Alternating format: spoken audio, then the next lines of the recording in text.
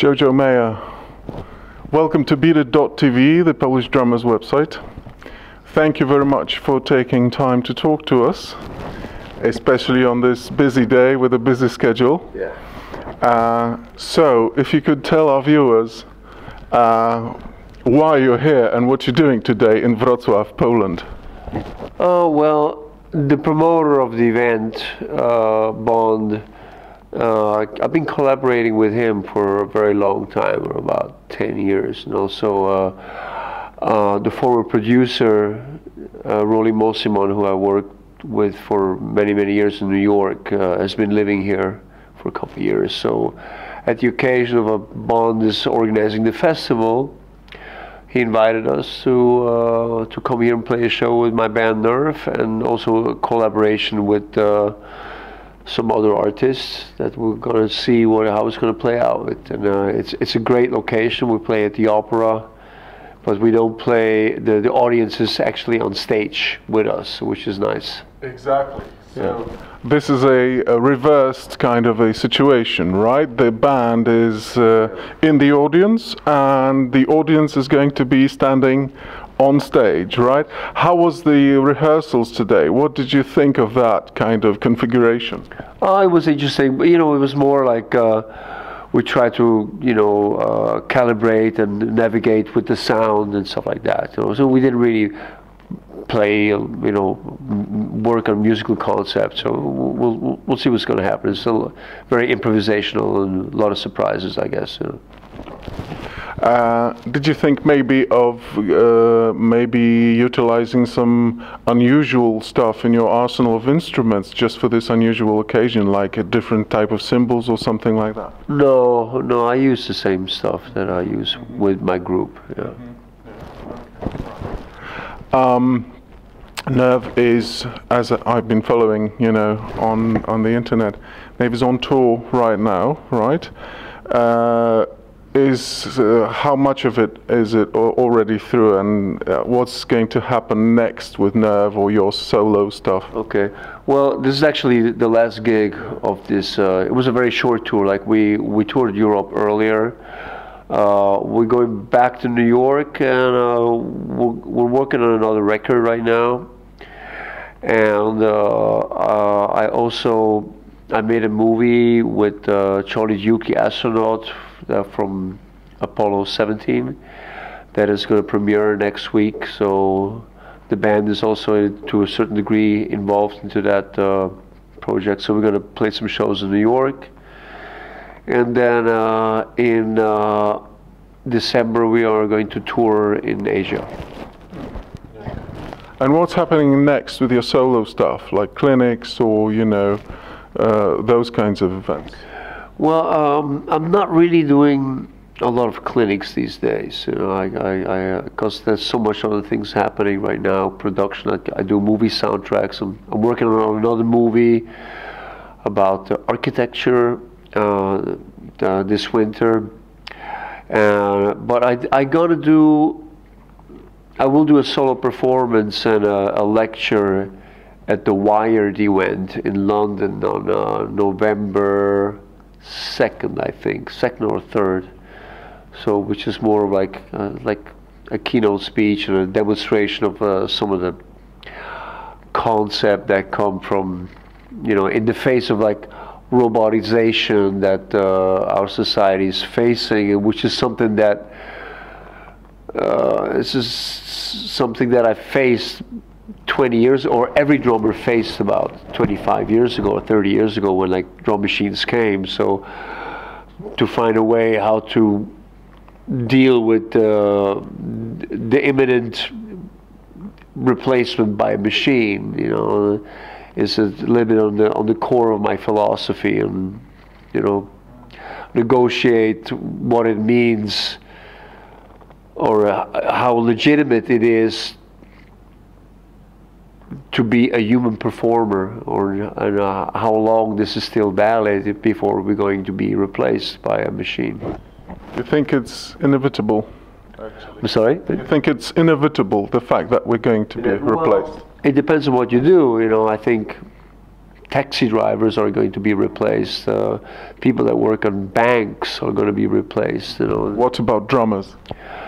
Well, it really depends on what it is that you do with the drums. You know, I, I, I think um, the drums is a communication instrument. You know, if you communicate something and you, it's just an instrument, really. It, it, depends on what you do with it, and, and you know, like the drums always changed over the course of, like say, like the last 100 years. You know, I mean, the drum is very, very old. It's as old as civilizations, like the wheel.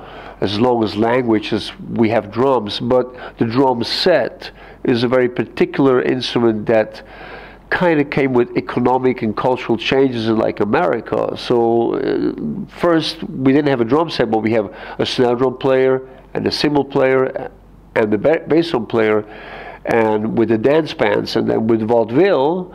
It was consolidated to a single person that played all the different instruments. So that was kind of like the beginning of the drum set. And William F. Ludwig uh, kind of mass produced the first bass drum pedal, which was really the birth of like the the drum set. But then vaudeville uh, had a crisis because of Hollywood, because of uh, silent movies. So drummers were out of their jobs.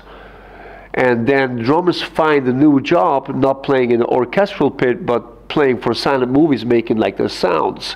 So like the drum set started to grow, and they had temple blocks where they imitate like the horses galloping, like and and guns and stuff like that. And, and you know all these things became a part of like the the, the arsenal of like the drummer. And then when movies started to have sound when with the with the innovation of like sound recording that job became obsolete. But then with sound recording and radio it was the birth of like jazz. So the the, the whole creativity um, somehow reincarnated in in this art form. So and it is always going like drums is a very modern instrument. So now we're at the crossroads where we're entering the technological age where we have to think about okay with electronic drums you know i mean to have electronic drums simulate the setup of a an acoustic drum set is kind of stupid, you know, like it's a, it's a limitation as there was much more things that we could do. So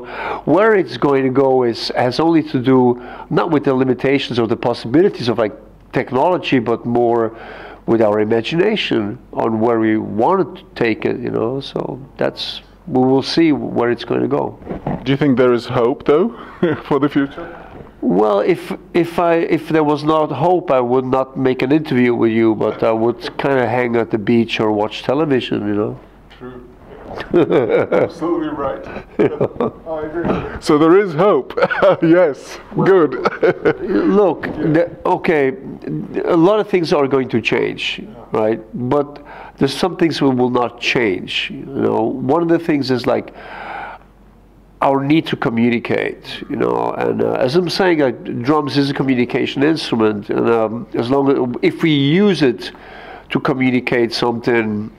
Uh, and if you communicate something important, that uh, if we share, you know, let's if we share, you know, uh, the bad things about life, or the good things about life, or the funny things, or the ironic things, or the political things, or the beauty, or the ugly, but as long as we share and we share, we make it interesting to share, someone will want to listen to us because one of the main reasons for music to exist is because it makes people feel less lonely, you know, it, it unites people. So uh, uh, if we are able to do that with, with, with drumming, then uh, I think uh, we do something, we build something cultural, you know.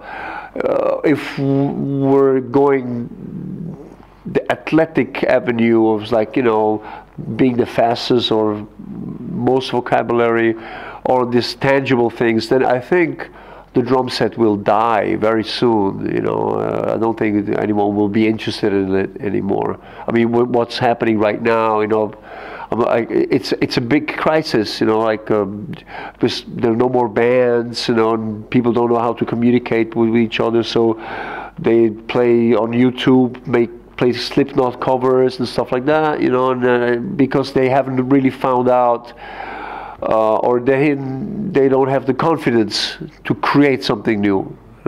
And we live in a in a, in a in a cultural climate of extreme insecurity culturally you know people are very insecure about they you know they, they need reconfirmation by you know how many likes do i have you know and they, they, they feel they don't have a sense of self-value. And you know this is what music is about you know and uh, you have to take a stance and go like this is what rock and roll is about. You go like oh i don't like this. I want to change this.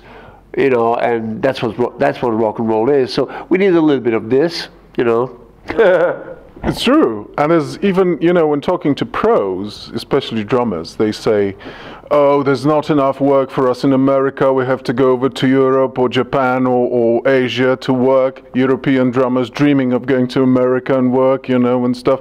So there's lots of confusion even in that. Well, look, you know, uh,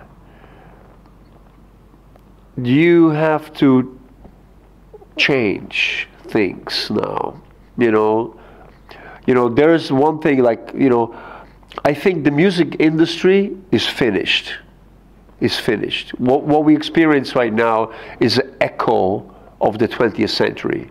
We don't really have a music business. We have uh, some weird thing, you know, like, and uh, real art is not happening there. You know, we don't have people in mainstream culture that are like David Bowie or Pink Floyd or Frank Zappa.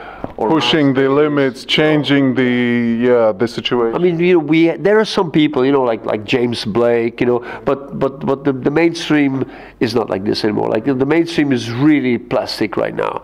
So we need something like rock and roll again, you know, and and I think a true artist never adapts a true artist, a, a, a, true artist don't adapt to the world. A true artist changes the world.